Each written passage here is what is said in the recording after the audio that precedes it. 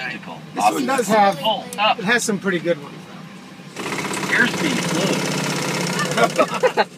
Uh, that's just when we get bored we use those. you had some questions? What happens in, in the air if you're, you're getting low on fuel in the air? If I'm getting low on fuel? Do you call it a take plane? No, we can't. We can't refuel in the air. Like you said, the military airplanes can do that, but the civilian ones can't.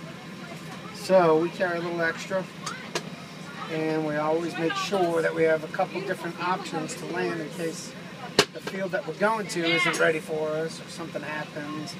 So then we can. We have different alternates that we can go land at. So sometimes when you go into Baltimore, you don't end up in Baltimore. Nobody's happy about that. I can tell you that much but it does happen. How about a window? We have windows.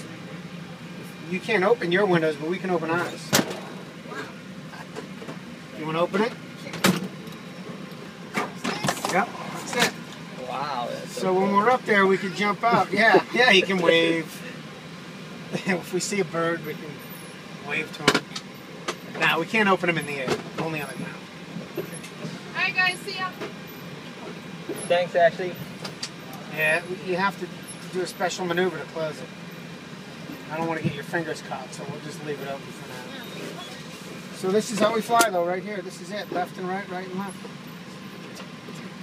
Forward and back, up and down. So, uh, is this how you go up? Yeah, you pull on it. That's right. But if you go down, you push it.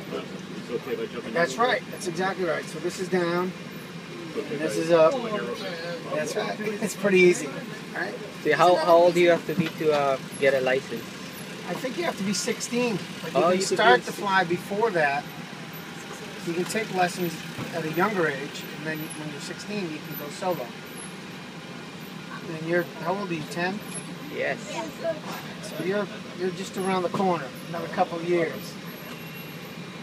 You want to get a picture taken? All right.